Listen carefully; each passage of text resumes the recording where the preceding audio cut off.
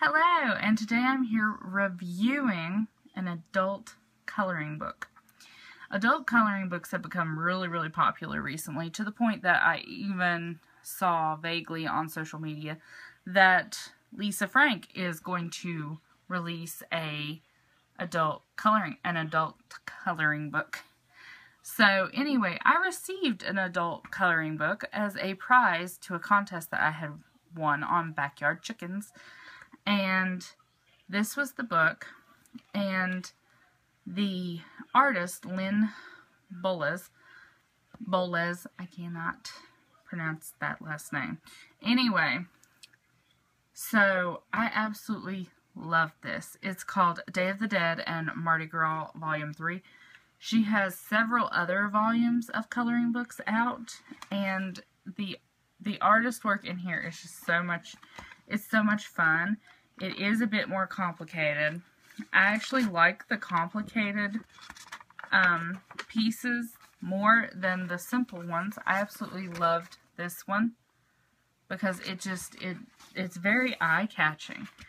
And so you should definitely check her out. I did ask where her work was available, and it is available on eBay and Amazon. So you can go to both of those pages and find her work. Just to give you an idea, she also has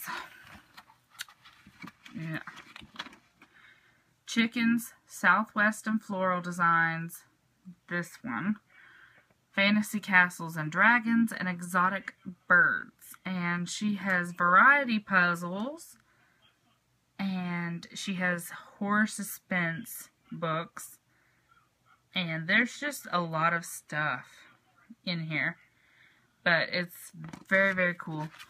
You should definitely check it out.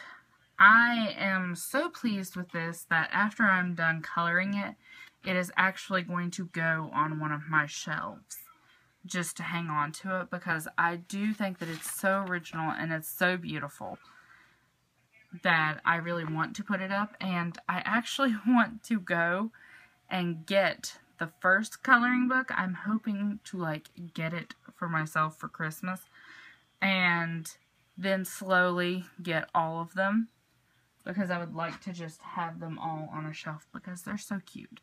They're this this really was. I absolutely loved it. So anyway, if you like adult coloring books, you should definitely check that out because, you know, just like independent books, we like to support independent artists. So anyway, like, comment, subscribe.